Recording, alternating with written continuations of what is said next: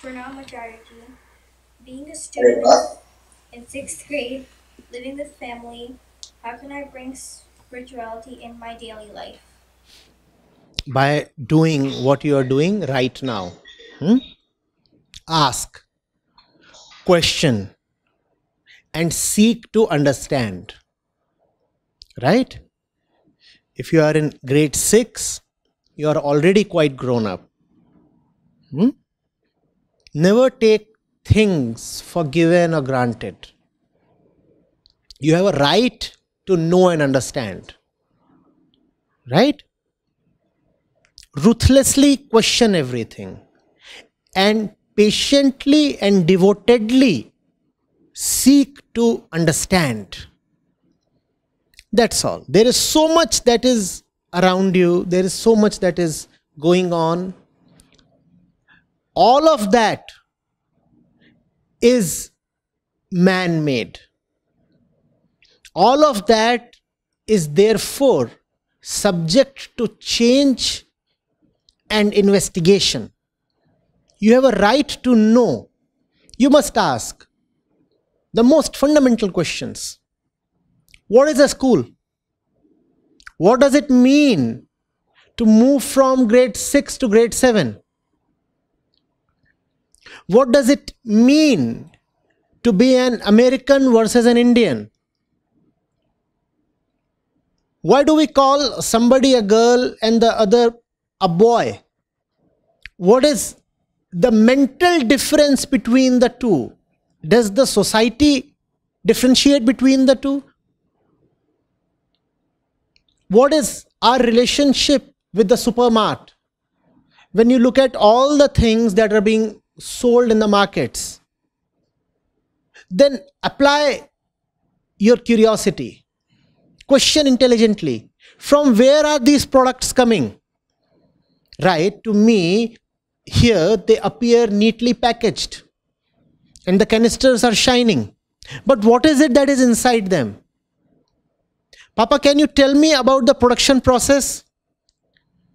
And even before the production process, can you tell me from where are the raw materials being sourced? Isn't it important to know these things? That's what all spirituality is about. Knowing life in its wholeness. Not remaining limited to only that which is immediately visible. Seeking the totality of everything. That's spirituality. Right? When you look at a garden, you must ask, what was here before the garden? Yes, the grass is green, but there are other things green as well. Were they here before the grass was?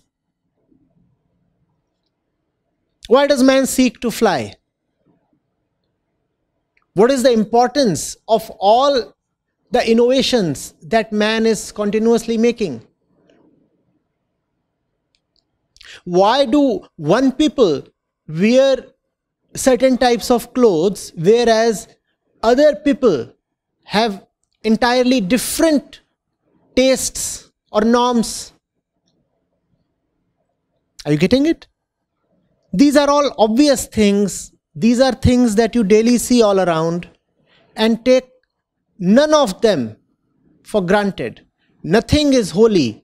Nothing has been ordained from the above. We said all of it is man made and therefore all of it is available to be questioned.